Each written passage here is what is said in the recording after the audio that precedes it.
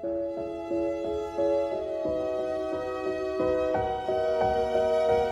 there's someone called Conrad Tucker on the phone to you, Mummy. Really? Virginia, she looks so much like my mother. He sounded lonely. So he called you. Some things are best kept secret. It's all got so complicated. My heart feels like it's being pulled into completely different directions. How could you not have known about me? How could Violet and Pandora have kept me hidden from you for all these years? I'm afraid secrets are something this family excels in. Noel's having an affair. You know, I've been a rogue all my life.